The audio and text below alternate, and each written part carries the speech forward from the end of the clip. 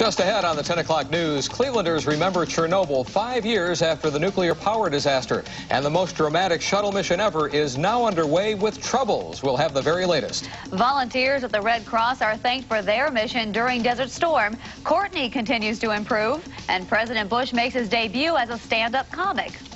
We'll have an update on the severe weather in the Midwest and our chances of seeing that over the next couple of days. The Indians' pitching was good again today. Bill Belichick talks about his Browns and rookie minicamp, and the Crunch tried to get to the MSL Finals. The 10 o'clock news is next.